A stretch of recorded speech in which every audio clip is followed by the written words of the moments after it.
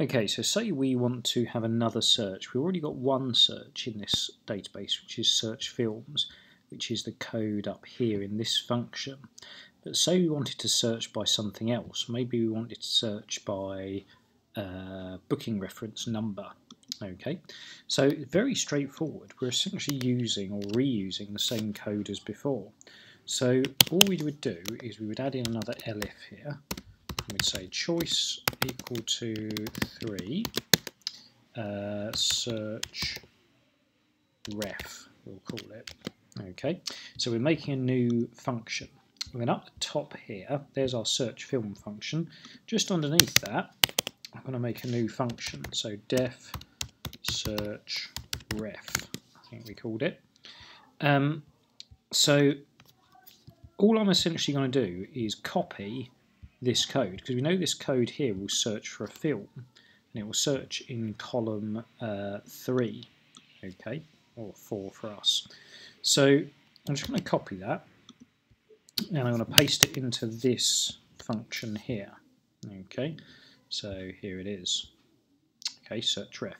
Now obviously we need to change a few things so we're not searching for a film name this time. Please enter a booking reference number. Okay, we don't need the lookup lower because we're looking at uh, numbers, so we don't need that. And all we're doing now is changing the data in the columns here. Now if we open up our CSV and we are looking at whatever column the reference numbers are in.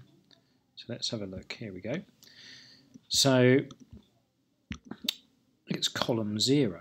Okay, so that's the column we need to search. So we're going to change this, or column 1 as we would look at it. And we're going to call the variable column 1.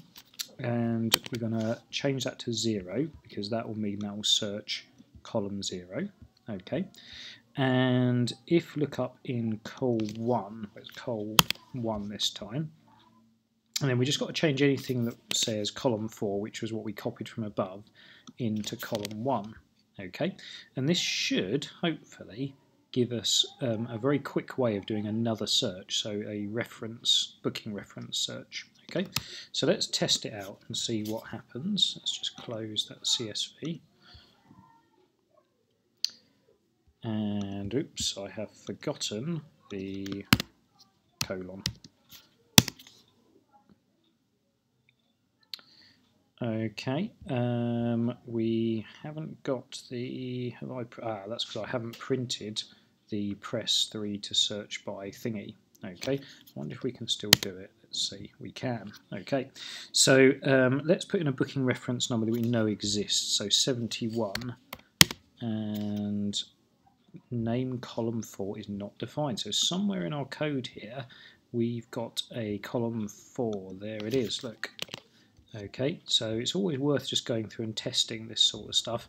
I'm just going to change my menu here because I need to add another print statement. Print, uh, press 3 to search by booking ref. And you'll find if you're doing things like copying and pasting old code, you will find there are bits that you need to change that you kind of miss. So this is why it's a really good idea to test like I'm doing at the moment. So let's try 71 again. Okay, good. So this time I've got rid of that thing that said column 4 up here, wherever it was. Here we go, search ref just there. And that one there. And now it's pulling up the booking reference of that person there. Okay, and we can just test it again just to make sure it definitely works. Um, let's pick someone else this time. So let's say Johnny Briggs, he's 37. So if we type in 37, it's pulled up Johnny Briggs's data. So that's a quick way of adding another search to your um, uh, database. We could in this one also search by maybe day that they're going on the cinema so we could see everyone who's going to the cinema on a particular day. But use the copy and paste with code you've already got and just change all the specifics inside to match what you want it to do.